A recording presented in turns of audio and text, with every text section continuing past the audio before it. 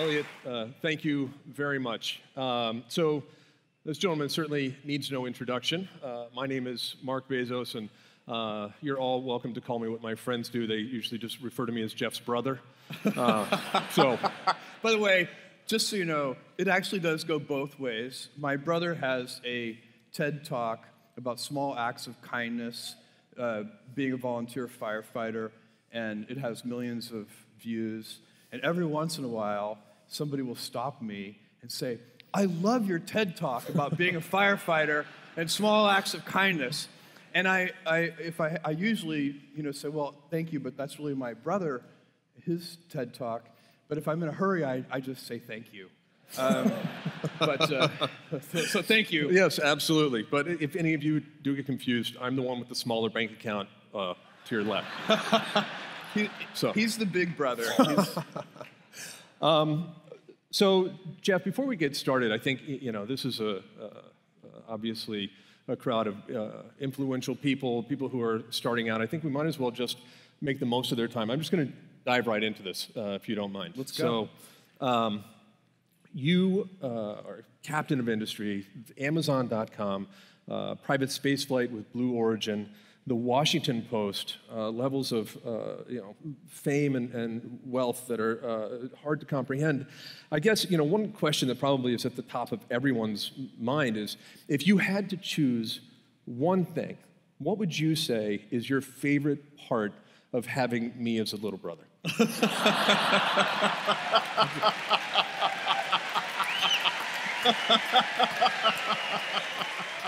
Because I've By the taken, way, the, I've taken the liberty of uh, writing down some thoughts. I know the answer to this.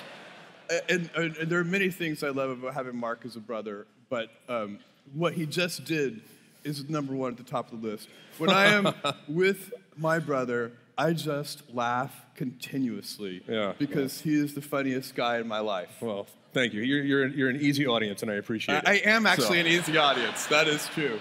He is. I am. All right. So, so here's what we're going to do, uh, if all of you uh, don't mind. So,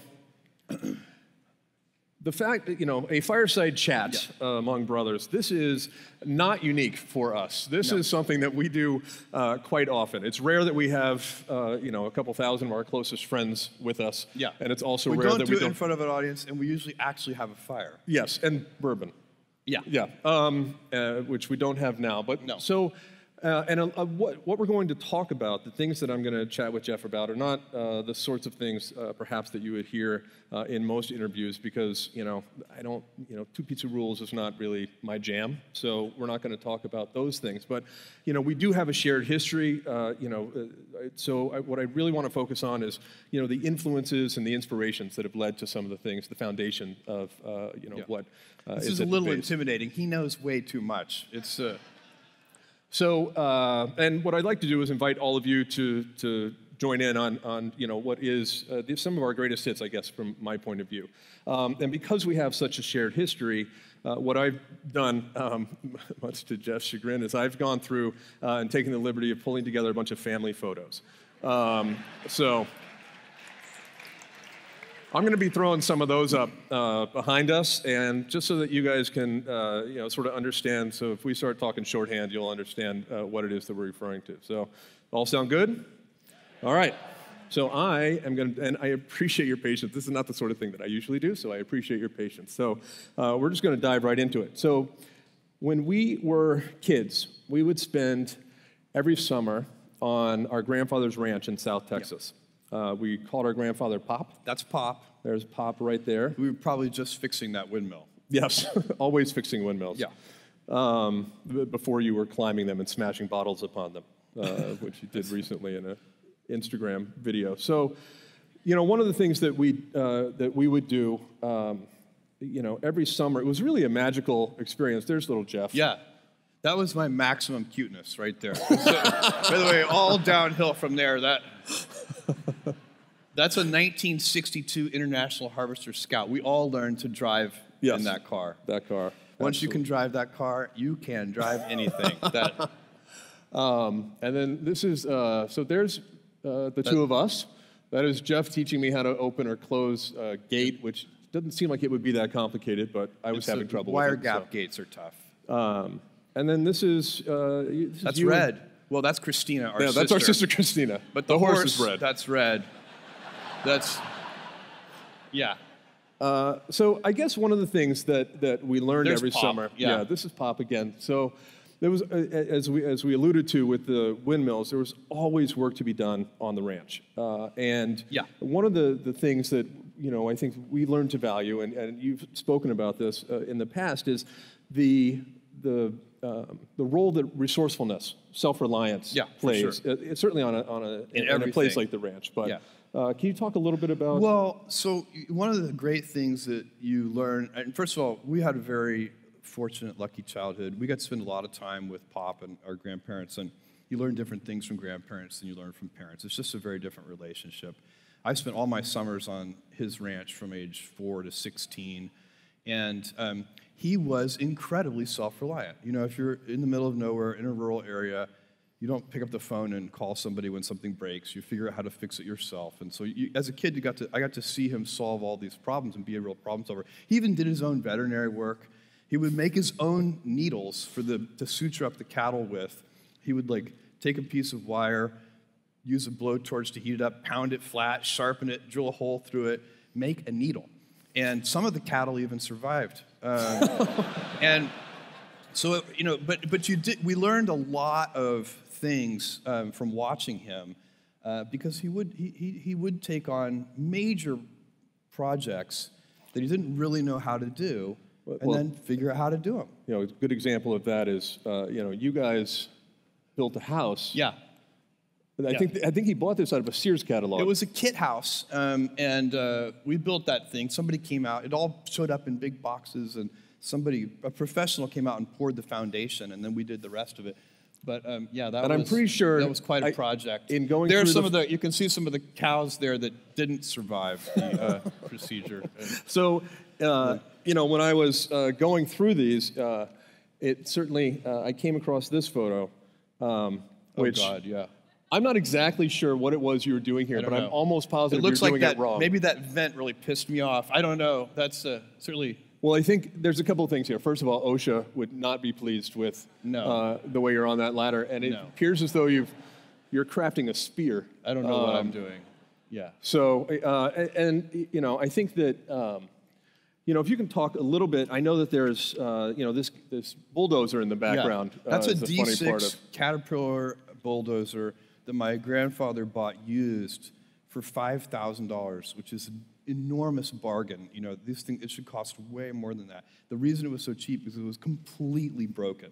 The transmission was stripped, the hydraulics didn't work, and so we spent basically a whole summer repairing it, and, and um, big giant gears would arrive by mail order from Caterpillar, and we would, you know, we couldn't even move the gears. So my, the first thing my grandfather did was build a crane to move the gears. So that's that kind of, you know, self-reliance and resourcefulness. And the, um, you know, there's also, uh, there's a, a, a story that, that, you know, is, is uh somewhat legendary in our family. Uh, one of the things that Pop did uh, one summer, uh, was a little out of character. Oh, I know what story you're talking about. Um, so he really actually was a very careful, conservative sort of person, um, not prone to crazy acts or anything. He was kind of uh, introspective and even and very even introverted, quiet person. But one day he was all by himself. He had driven to the ranch and he was at the main gate to the ranch and he forgot to put the car in park. And so when he got to the gate, he noticed that the car was slowly rolling downhill toward the gate. He thought, this is fantastic. I have just enough time to unlatch the gate, throw the gate open. The car is going to drive right through, and this will be wonderful. He almost got the gate unlatched when the car hit the gate, and it caught his thumb between the gate and the fence post, and it stripped all the flesh off of his thumb. It was hanging there by a tiny little thread, and uh, he was so angry at himself that he ripped that piece of flesh off and threw it in the brush, got back in the car, drove himself to the emergency room in Dilley, Texas, 16 miles away. And when he got there, they said, This is great, we can reattach that. Where is it? And he said, Oh, I threw it in the brush. They drove back with the nurses and everybody, and they all they looked for hours for the thumb, and they never found that piece of flesh, something probably eaten it. So they, they take him back to the emergency room and they said, Look, um, uh, you have two choices. You're going to have to have a skin graft for that, and we can sew your, your thumb to your stomach and leave it there for six weeks. That's the best way to do it. Or we can just cut a piece of skin graft from your butt and just suture it on, and it won't ever be as good, but the advantage is your thumb won't be sewn to your stomach for six weeks. and um, he said, I'll take option two, just do the skin graft from my butt. And um, they did that. It was very successful. It worked fine. And he, he, but the funniest thing about this story is that I have incredibly vivid memories, and we all do, of him. And he would, definitely his mornings were completely ritualized. He would wake up, eat breakfast cereal, read the newspaper, and shave with an electric razor for a really long time. Like he would shave with that electric razor for like 15 minutes, and uh, while he was eating his cereal and doing, and when he was done shaving his face with that razor, then he would take two quick passes over his thumb because his thumb grew butt hair, and but which, by the way, did not bother him at all. No. He was completely unfazed yeah, by it. unfazed. So, uh, thumb butt hair aside, uh, you know the uh, the value of resourcefulness, Yeah. right? And um, and self reliance. What? How do you how do you apply that to um, you know the work that you do on a daily basis? How do you? Well, I think in- you know there are a lot of entrepreneurs and, and people pursuing dreams and passions in this God, and you know you always you you the, the whole point of uh, of moving things forward is you run into problems, you run into failures, things don't work, you have to back up and try again. Each one of those times when you have a setback and you back up and you try again, you're using resourcefulness, you're using self-reliance, you're trying to invent your way out of a box. And um, I have, we have tons of examples at Amazon where we've had to do this. We've failed so many times. We have, I always think of us as a great place to fail because we're good at it. We have so much practice. and I get just to give you one example. We many years ago now we started. We wanted a third-party uh, selling business because we knew we could add selection to the store that way, and uh, we s- started Amazon auctions. Nobody came. I think maybe our mother is the only one who purchased something. I bought a coffee auctions. cup. You got a coffee cup. I did. Okay, so I there were did. two purchasers, and um, uh, and and that's so then we so we said, well, what can we do? We opened this thing called zShops, we tra- which was like fixed price auctions. Again, nobody came. I didn't use that. And then finally, and each one of these failures is like a year, year and a half long.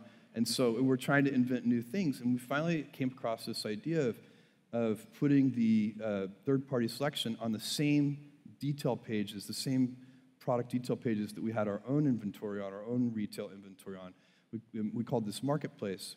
And it started working right away. And or, so that just that resourcefulness of trying new things, figuring things out, what the customers really want, it, Yeah. it pays off in everything. And it pays off even in your daily lives. You know, how do you help your children? What's the right thing? My wife has a great saying. We let our kids use, even now, now they're 17 through 12, but even when they were four, we would let them use sharp knives. And by the time they were, I don't know, maybe seven or eight, we would let them use certain power tools.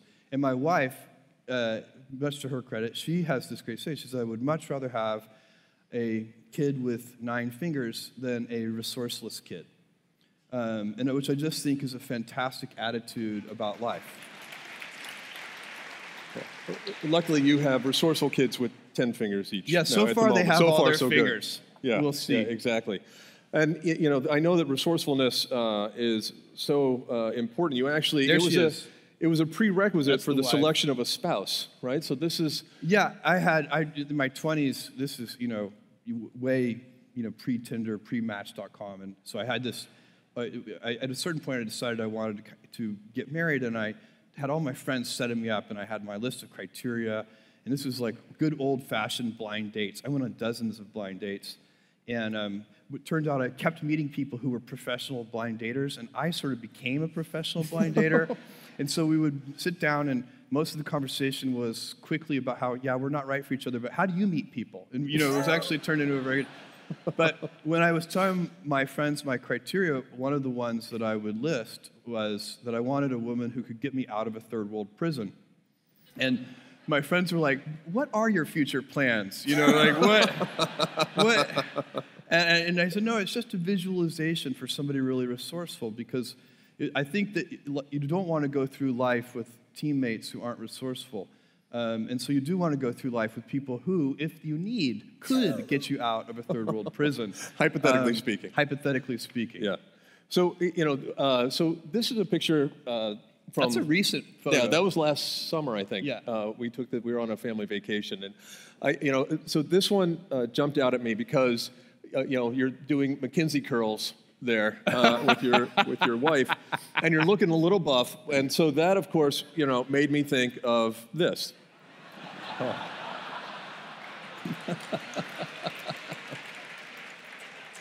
now, as internet memes go, Swole Jeff is pretty cool, right?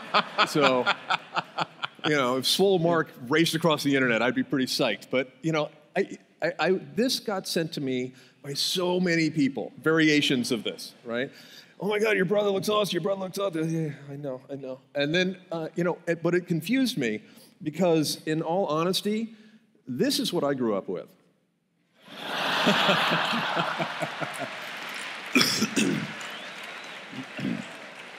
yeah. I'm just saying, right? So that. You know, when yeah. when you guys saw Swole Jeff, I was like, uh, I, I, was surprised too, right? I mean, yeah. this is. Yeah, this I mean, sexy, right? That, I mean, that I, I, I remember that. I am. Um, How old are you here? Halloween costume. I am one of. I had some friends, and we went as the fruit oh, of the Oh no, no, no! Hold, wait, wait, wait, wait, wait. There you go. There we go. That is, yeah, yeah. The the the, the they chicks, went as the lady chicks, killers. Chicks loved that. They loved that. That we were we were very successful in high school. we, so uh, as fitness goes, and then and then you know there was this guy who's like what late '90s Jeff, right? Yeah, this something is, like that. Yeah. And uh, you know your eating habits at this point in your life were not great. No. My, this is, um, this is, you won't even believe this story. You're just going to have to believe me that I tell you this is true. Um, when my wife and I got married, uh, I had been eating a whole can for a couple of years. I had been eating for breakfast every morning a whole can of Pillsbury biscuits. So I would wake up in the morning, I would uh, preheat the oven to 375. I would get out the, the bacon, the baking sheet. I would crack open the Pillsbury biscuits, place them on there, and with butter. And I would eat the whole whole can. And I was skinny as a rail, and um, it was just. And I, and my, after watching me, so then we get married, and she watched me do this every morning as my spouse for like three months. And then she finally stopped me one day, and she said, do you know what's in that? and I was like, honestly, that wasn't even a concept for me, that there was something in food. You know, that there was like a, um, I had never read a nutrition label in my life. I ate what tasted good to me.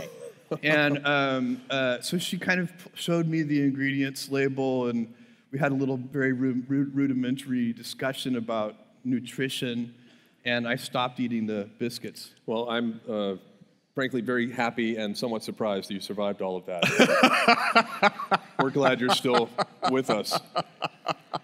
So she was incredulous. She couldn't believe it. So one of the, the things I want to talk about, a question that, that we've talked about before, you were 30 years old in 1994 when yeah. uh, you decided to start Amazon.com. Mm-hmm. Uh, you had a great job you had, I remember you had a great apartment on the Upper West Side. I'd been married um, for a year. You'd been married for a year. I had not been eating biscuits for nine months.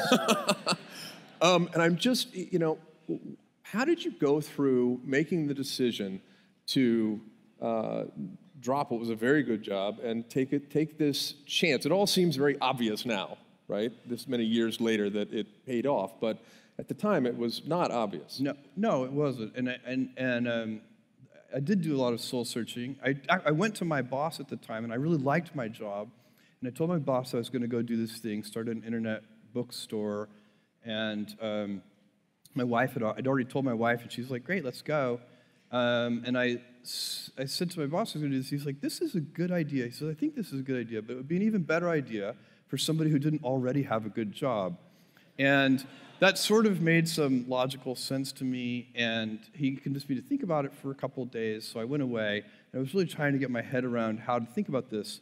And I think for me, the right way to make that kind of very personal decision, because those decisions are personal, they're not like data driven business decisions. They're, they are, you know, what does your heart say? And for me, it was, I could, the best way to think about it was to project myself forward to age 80 and say, look, when I'm 80 years old, I want to have minimized the number of regrets that I have. I don't want to be 80 years old in a quiet moment of reflection, thinking back over my life and, and cataloging a bunch of major regrets. And I think that regrets, our biggest regrets, in most cases, you can murder somebody, okay, you'd regret that. But in most cases, our biggest regrets turn out to be acts of omission.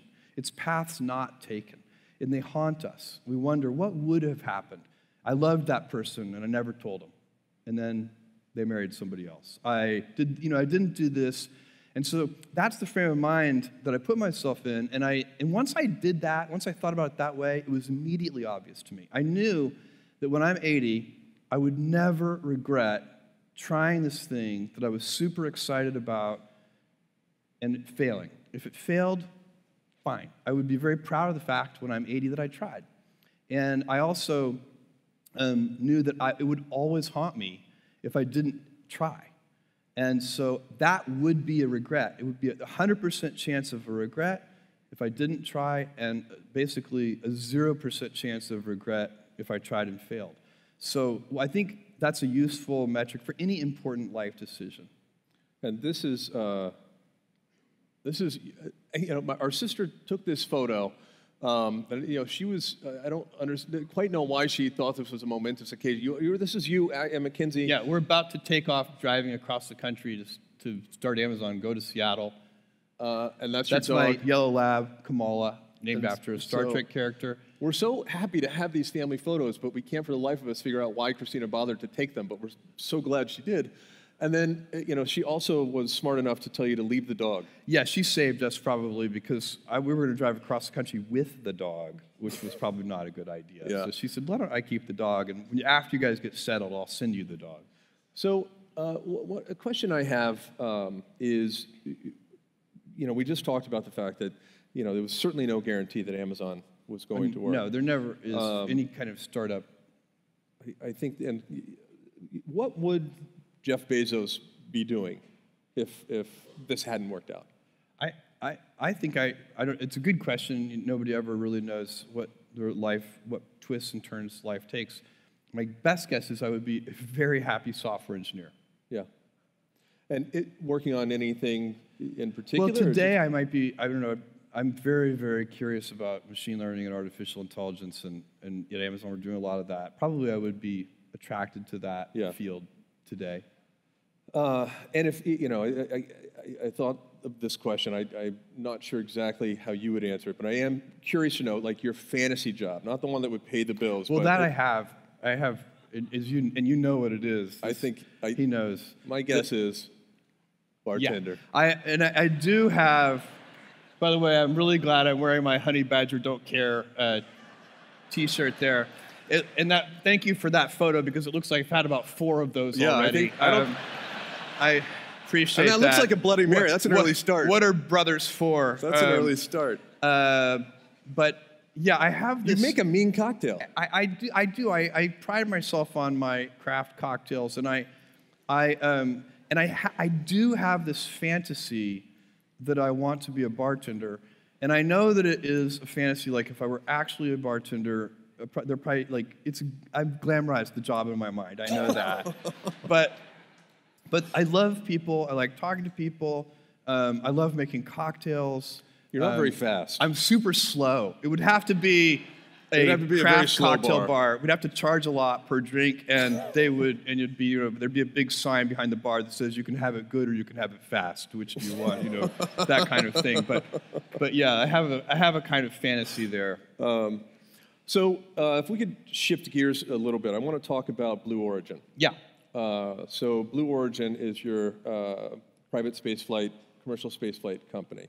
Uh, and uh, we'll talk in a minute about all the, the work that, that uh, you're doing in that regard. But I guess what I want to focus on uh, for a minute or two is the inspiration for that, the passion behind it. So, um, you know, I'm, I'm going to put up a photo now, and th- this one's really more embarrassing for me than for you. But uh, so here we are. This is You is look your, like you're about to block a soccer kick or something. I don't- It's uh, you're, I'm auditioning for Alvin and that's the our on the far right. There is our dad. That's Chico and the man over there on the right. He, he Uh, is uh, he's Cuban, and it's a kind of you know it's one of those tricks that the universe plays on you. That uh, my mom's name is Jackie and my name is Jeff, and there's no J in Spanish, and so he still has to call her Yaki and me Yef.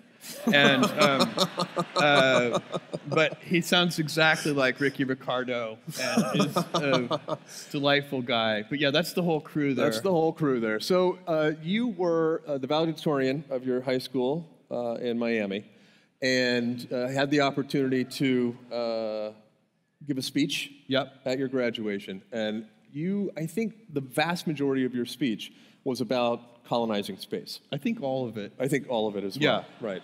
So, and I, I still remember your closing line. I mean, even then, it stood out to me. Yeah. Uh, and it was, uh, do you remember it? I do. I, re- I remember the close. It was something like um, Space, the Final Frontier, Meet Me There.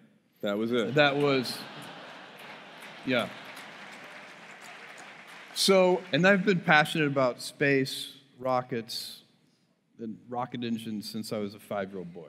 and so, you know, I want to talk about that a little bit because, you know, we've talked about, or, uh, you know, it, certainly the story you've told about having seen uh, the moon landing in 1969, right? So this is Pop again. That's Christina, right? That's our sister uh, on the floor. So this was a very familiar setting for us. Anytime Pop was watching TV, he was Yeah. laying on the. He had perfectly good furniture. I could see it, but uh, Yeah, no, he liked to lay on the floor. Laid on the floor to to watch television, Yeah. and you remember a scene exactly like this when you were watching um, the lunar landing. Yeah.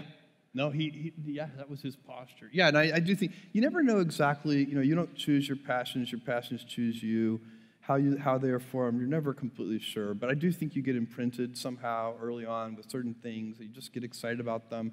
And because you're excited, you pay more attention and they grow. Um, and that's space is like that for me. I watched Neil Armstrong step onto the moon when I was five. And you know, I, I, I do wonder. I know that um, Pop was a big fan of the Watergate trials. Also watched I- those in the yeah, I, I same setting. Just like this. Yeah. He was kind of a news junkie anyway. But we, he religi- he obsessively watched the uh, Watergate hearings. I, you know, do you think at some level that might have influenced you It- at least? by the post. Yeah, I'm just be. curious It's hard to know. Um, you know, I bought the post because I think it's an important institution, and uh, you know, I told the team at the time, like, you know, I, it, it- the, the post at the time um, had was kind of financially upside down, had a lot of work to do, no fault of their own. The internet had really taken the wind out of um, out of newspaper companies, and I said, look, you know, I would not buy a financially upside down salty snack food company. Um, but the Post is a real institution I think matters and, and uh, needs some runway. So that's why I did it. Got I happen to know the guy who had owned it for so many years, Yeah. Don Graham, who's just an amazing person. Um, and so that all worked out. But did watching the Watergate hearings with Pop on the carpet have influence on that? Probably. Right, at some level. You know, So um, going back to, to Blue Origin, I mean, you know, space has been such a, my a big part of your life uh, for so long, and certainly every memory. That's in uh, Houston. We lived in Houston That was a park years. not too far from our house. I think that, uh, you know, it's science fiction, science fiction movies, books, uh, you know, I've, my passion for that stuff certainly came from, uh, you know, watching you enjoy it so much. But, you know, I look at this picture and, uh, you know, I, I thought to myself, well, I've seen uh, that face recently. Uh, and it's, and this, so this is, uh, you're standing on the landing pad Yeah. in West Texas, uh, the launch and landing site in West Texas, Yeah. where you're do, launching uh, and landing uh, New the New Shepard. Shepard Yep. vehicle for Blue Origin. So, if you could just take a minute or two and uh, sort of help us understand what is Blue Origin up to? Well, um, Blue Origin is the vision for Blue Origin is millions of people living and working in space. And the key thing is we have to dramatically reduce the cost of access to space. Right now, space travel is very expensive. And the reason it's expensive is not hard to understand. It's because we throw the hardware away after each use. And so we need reusable rocket vehicles. And that's what Blue Origin is working on. We're working on um, making sure that we don't have to throw the plane away every time after you fly you know, to your vacation destination. That would definitely increase the cost of your vacation. And, um, and so uh, that's what we need to do. And we can do it. It's totally possible. Uh, and I think it's, I think it's important. Yeah, uh, this, is, uh, this is what the booster looks like when it's coming back down. Yeah. Um, and and uh, this is, uh, again, coming back My down to cowboy hat still has cham- champagne stains, which That's uh, right, your hat still has it's the best kind of stains. So, you know, I guess, you know, if we could talk, and uh, this is one of my favorite shots. This is the booster in, in And that's West, West Texas. It's, it's beautiful country. So, uh, if you could just talk a little bit about, um, you know, you've been passionate about space your whole life, Yeah. but you know, this is not just a plaything for you. No, the God, work no. that Blue Origin is doing is not, you know, a No. nice thing. I mean, No. you actually, this is important I, work. my view is like is that it's it's incredibly important work that um, needs to be done and done as quickly as possible. And I have my own reasons why I believe that. They can be explained pretty simply. And it's not for me. It's not the. Um, there's a very uh, kind of common argument that's been around for a long time. Actually, kind of first popularized by Arthur C. Clarke, who said all civilizations become spacefaring or extinct. And this is the kind of plan B argument that, you know, when Earth is destroyed somehow, um, we better make sure that we don't have all of our eggs in one basket. And I hate the plan B argument. Um, I think, you know, plan B with respect to Earth being destroyed is make sure plan A works. So we have sent robotic probes to every planet in this solar system. Believe me, this is the best one. we know that. It's not even close. You know, my friends who say they want to uh, move to Mars or something, I say, like, why don't you go live in Antarctica for a year first? Because it's a garden paradise compared to Mars. and um, so we really, this is the, this planet is so amazing. It's a jewel in our solar system. And we have, uh, if you take baseline energy usage on Earth and just compound it at a few percent a year for just a few hundred years, you have to cover the entire Earth's surface in solar cells. So that's not going to happen. So we have two choices. We either go out into space or we switch over to a civilization of stasis. And personally, I do not like the idea of stasis. You know, we have, uh, we, it, it's, it, we live, our grandchildren and their grandchildren will live in a much better world if they can continue to advance and develop and use more energy um, and, and all of the things that we've enjoyed for hundreds of years as a civilization of growth. I don't even really believe in stasis. I think things are either growing or shrinking. I, don't, I think stasis is highly, highly uh, unusual and, and real life doesn't exist. I don't even think liberty is consistent with the idea of stasis. I mean, uh, if you get real stasis, somebody's going to have to tell you how many kids you can have, how much energy you can use. There'll be all kinds of things that just aren't consistent with, with liberty and freedom. So, but in space, we have, for all practical purposes, unlimited resources. We could have a trillion humans in the solar system, uh, and wouldn't still wouldn't be crowded. Um, and so then, if you had a trillion humans, you'd have a thousand Einsteins and a thousand Mozarts and a thousand Da Vinci's. And how cool would that be?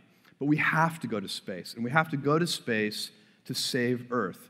That's why this work is so important. And we don't have forever to do it. We've now gotten so big as a civilization on Earth that we kind of have to hurry. And so I believe that, um, that you know, that, that really in a kind of a long time frame, the most important work I'm doing is, is Blue Origin and pushing forward to get humanity established in the solar system.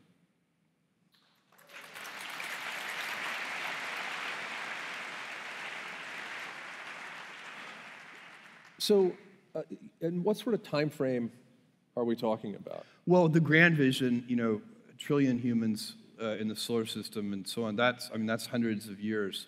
Um, but you know, but in, in, in, we can have in just a couple of decades, I think we can have much lower cost space travel, and then we can start to, um, you know, have really a dynamic entrepreneurial explosion in space. You know, you can't really have much entrepreneurial activity in space today because the, just the basic price of admission is too expensive. I mean, just to do anything, even something relatively small in space, is still very, very expensive. We need to lower the cost of admission so that thousands of entrepreneurs can have companies in space, kind of like what we've seen on the internet.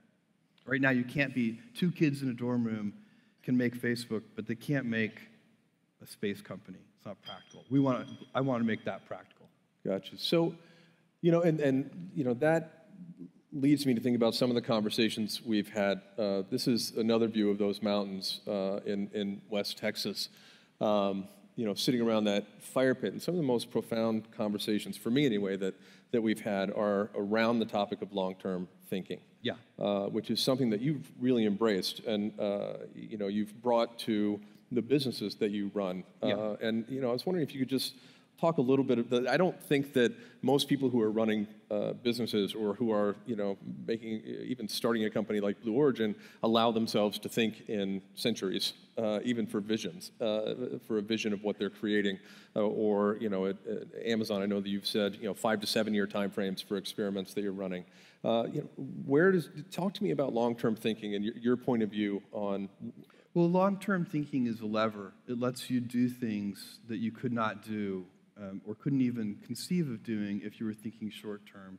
So if I, you know, that's why, you know, the, I have a project where I'm um, helping a group of people build the, a 10,000 year clock. It kind of ticks once a year and dongs once a century, and the cuckoo comes out once a millennium.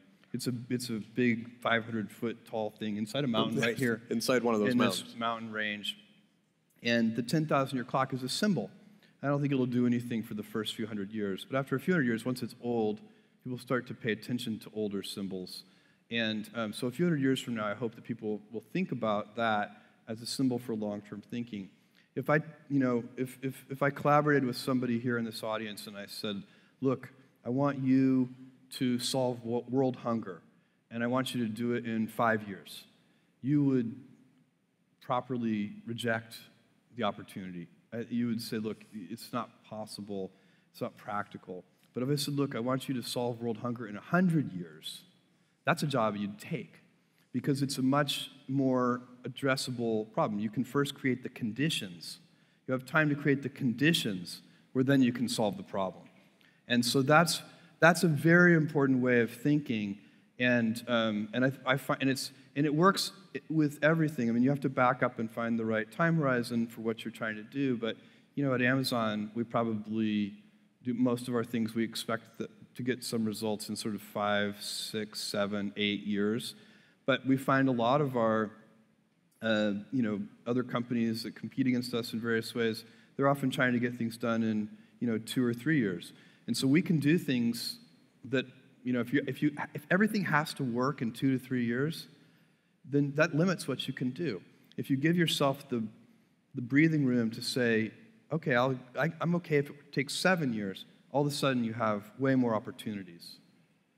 The, um, one of the things I want to, to shift to uh, here is um, when, when we are uh, raising a glass uh, around a, the fire, um, and you usually have a toast. That, a standard that, toast. A standard toast that you usually kick off the night with. Yeah. And it's to adventure and fellowship. To adventure and fellowship.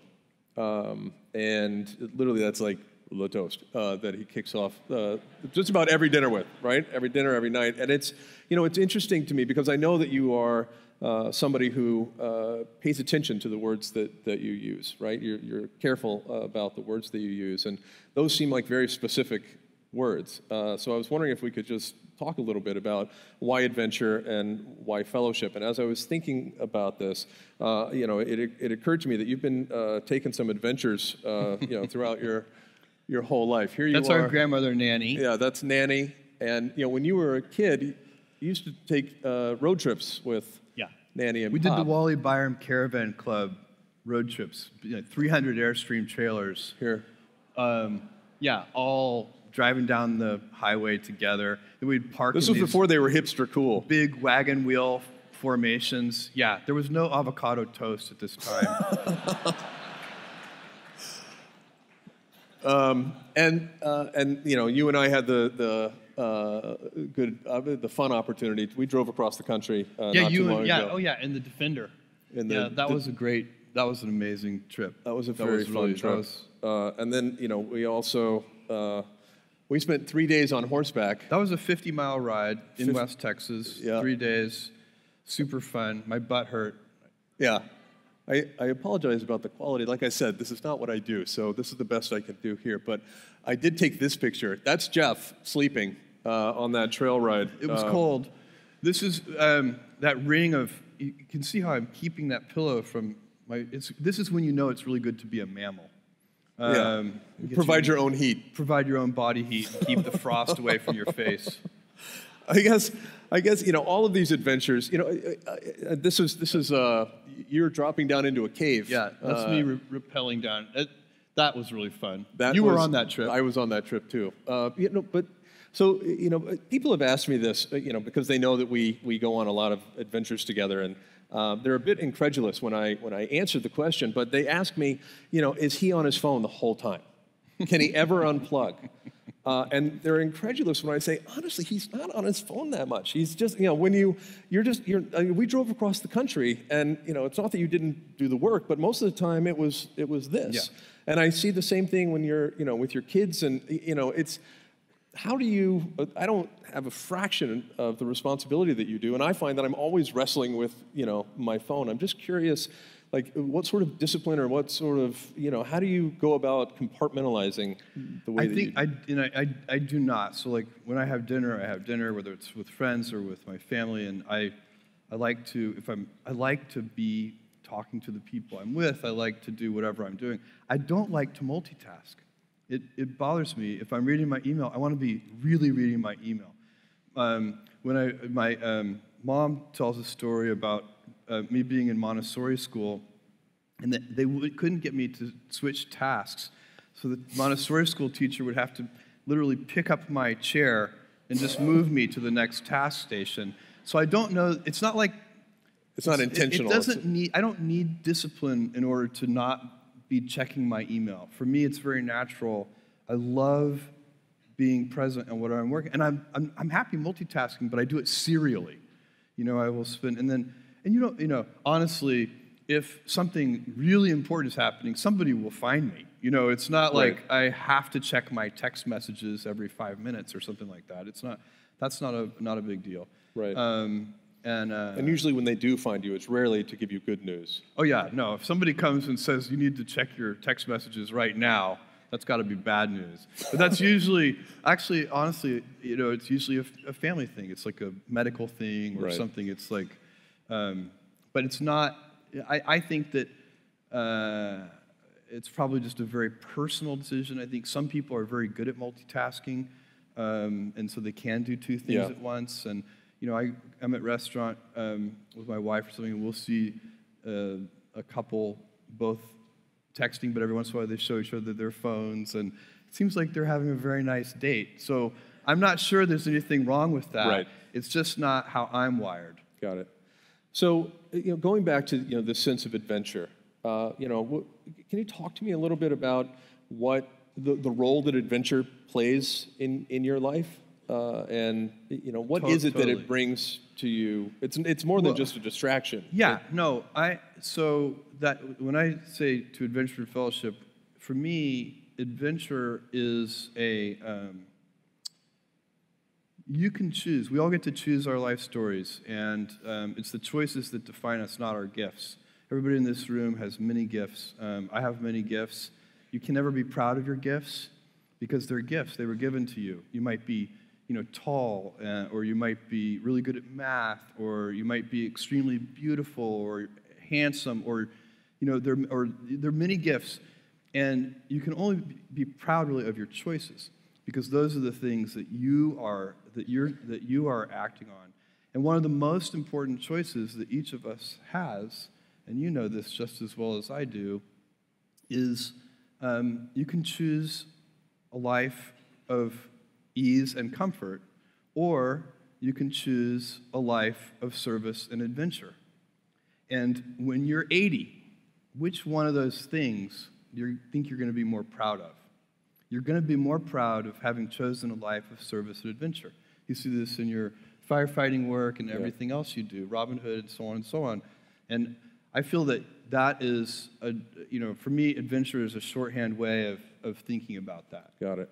And I think that one of the other things that we've talked about when we talk about adventure is, you know, exposing yourself to new things, right? And, and you know, maintaining that childlike sense of wonder. Totally. And you know, I know that uh, you know this is important to you, certainly in, in uh, our personal lives, which is why we do all of these uh, fun things. But it also plays an important role in uh, you know how you approach the businesses that you're involved in. The, if you want to be an inventor of any kind, inventing a new you know a new service offering for customers or a new product or anything, the being an inventor requires because the world is so complicated you have to be a domain expert. I mean, in a way, even if, even if you're not at the beginning, you have to learn, learn, learn, learn, learn enough so that you become a domain expert.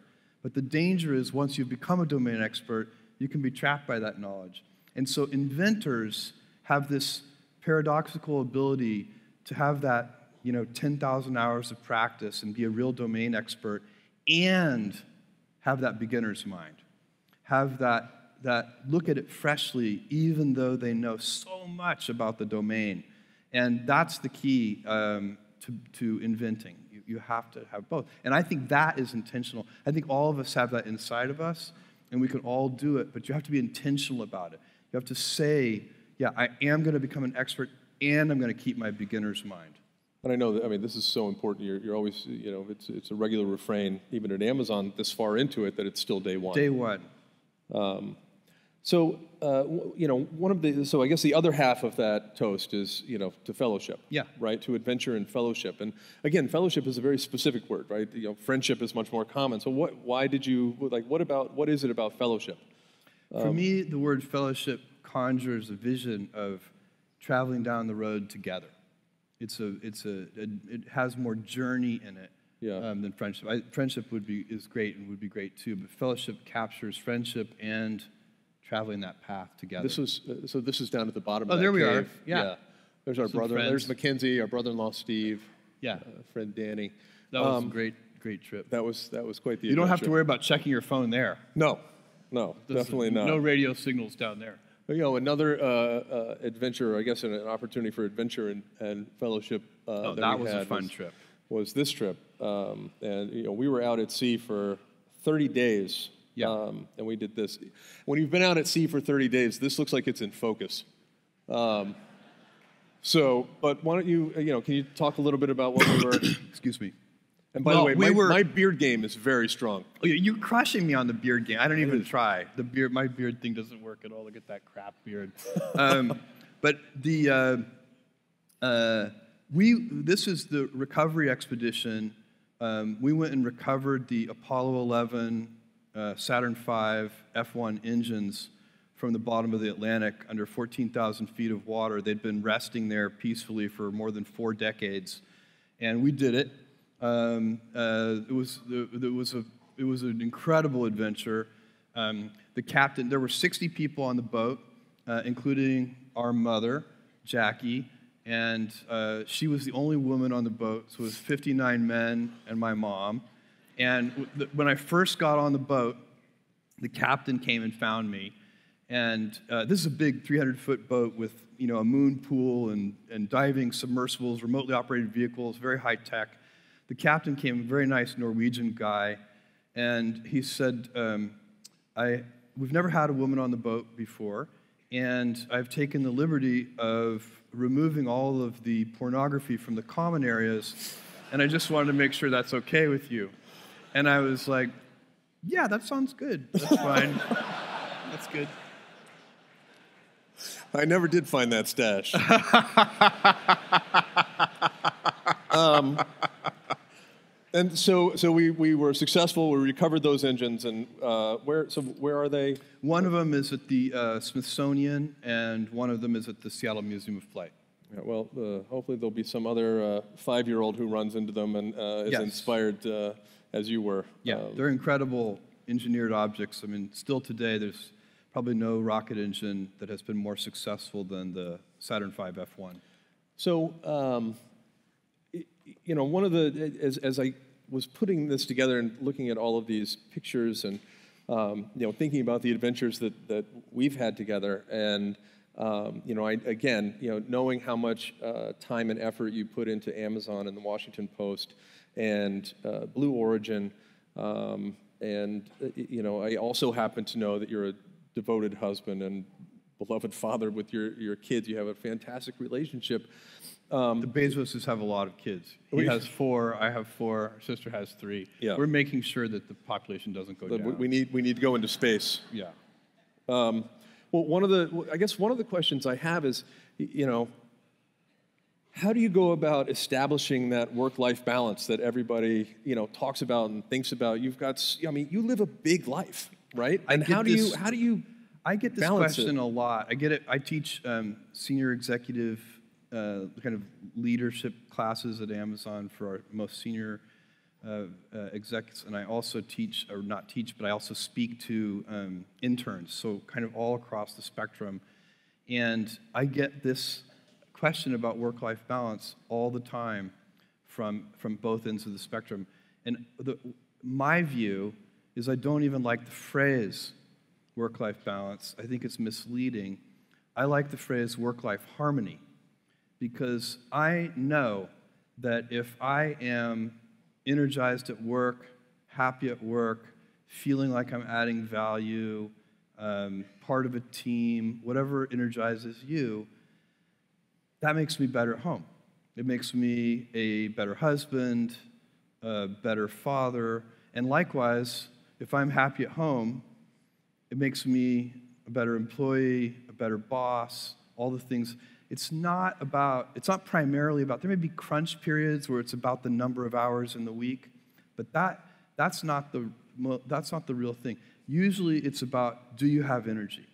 And is, the, is your work depriving you of energy, or is your work generating energy for you? And you know, there are people, everybody in this room knows people you, who fall into these two camps. You're in a meeting, and the person comes in the room. Some people come into the meeting, and they add energy to the meeting. Other people come into the meeting, and the whole meeting just deflates. And those people just, they, they, they drain energy from the meeting. And you have to decide which of those kinds of people you're going to be. Are you going to add energy? Um, and the uh, same thing at home? and the same thing at home. And it's a, so it's a wheel, it's a cycle, it's a flywheel, it's a circle. It's not a balance because a balance. That's why that metaphor is so dangerous because it implies there's a strict trade-off. And um, you could be out of work, have all the time for your family in the world, but really depressed and demoralized about your work situation, and your family wouldn't want to be anywhere near you. They would wish you would take a vacation from them. And so it's not about the number of hours, not primarily. I suppose if you went crazy with, you know, 100 hours a week or something, yeah, that maybe Right. maybe there are limits, and they probably. But I've never had a problem, um, and I think it's because both sides of my life give me energy, and and I, I, that's what I would recommend. And that's what I do recommend to interns and execs. So um, we're out of time. I just want to uh, say that, um, you know, first of all, thank you all for joining us around the proverbial fire pit. Uh,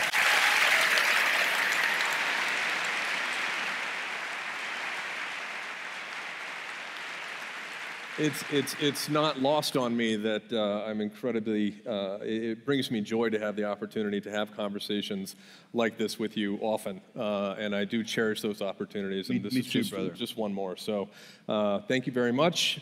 Thank all of you. I guess there's just one more thing to say. We should toast. Yep. To To adventure, adventure and fellowship. and fellowship.